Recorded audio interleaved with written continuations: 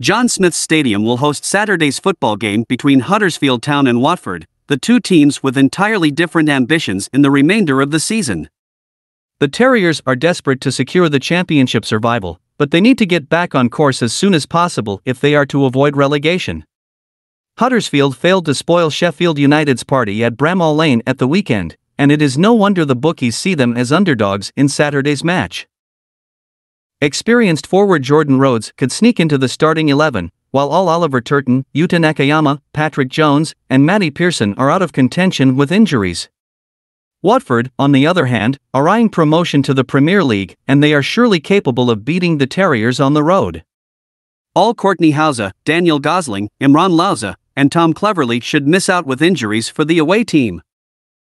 My prediction is a Watford win. What say you?